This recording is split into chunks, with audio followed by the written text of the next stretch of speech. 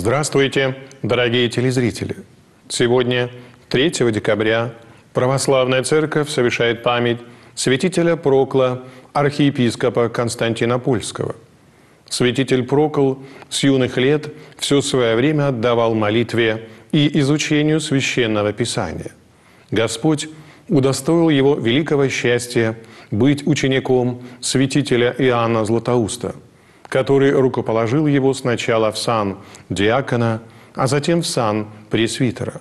Святой Прокол был свидетелем явления апостола Павла, святителю Иоанну Златоусту. От своего учителя святой Прокол получил глубокие знания священного писания, научился в совершенной форме излагать мысли.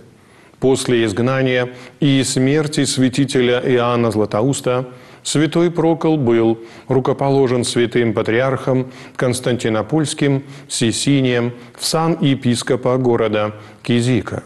Но под влиянием еретиков-несториан паства изгнала своего святителя.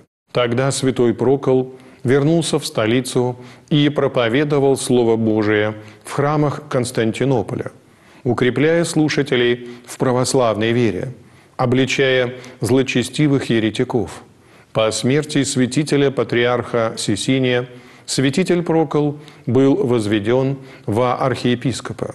Став патриархом Константинопольским, управлял церковью в течение 12 лет. Стараниями святителя Прокла при святом царе Феодосии II из Каман в Константинополь были перенесены мощи святителя Иоанна Златоуста.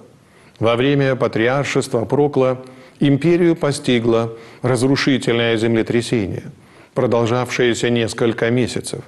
В Вифинии, Гелеспонте, Фригии рушились города, исчезали с лица земли реки.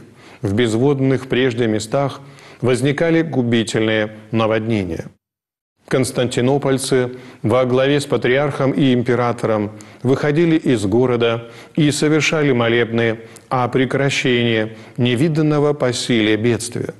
Во время одного молебна из толпы был невидимой силой поднят в воздух мальчик и унесен на такую высоту, где человеческий взгляд уже не мог его видеть.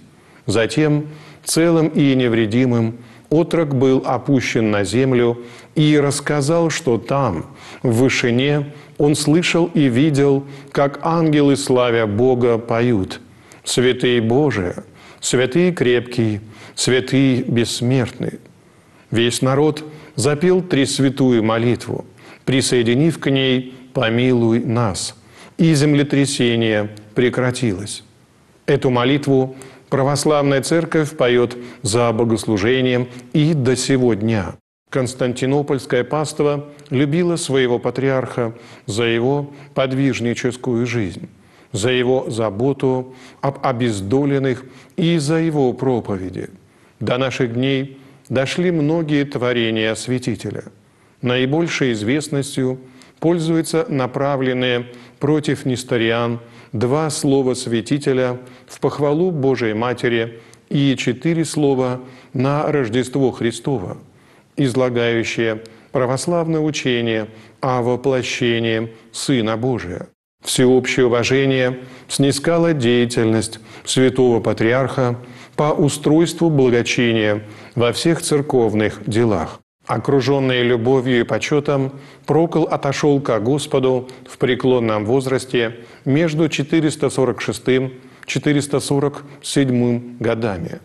Дорогие братья и сестры, сегодня также совершается предпразднество введения во храм Пресвятой Богородицы и память святых преподобного Григория де Каполита, преподобного Диодора Юрьегорского, мученика Дасия, мучеников Евстафия, Феспесия и Анатолия, священномучеников Нирса епископа и Иосифа, ученика его, Иоанна, Саверия, Исакия и Ипатия – епископов персидских, мучеников Азата Скопца, Сасония, Феклы, Анны и иных многих мужей и жен в Персиде пострадавших, а также новомучеников и исповедников российских.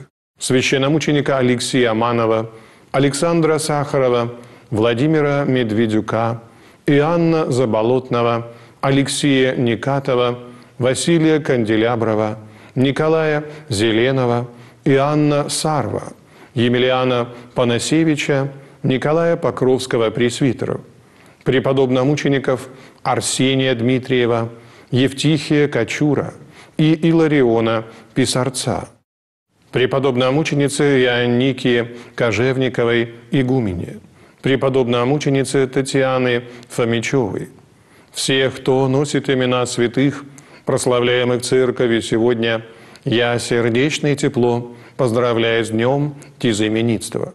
Благожелаю вам от Господа мира душевного, здравия телесного и неоскудевающей помощи Божией по молитвам ваших небесных покровителей.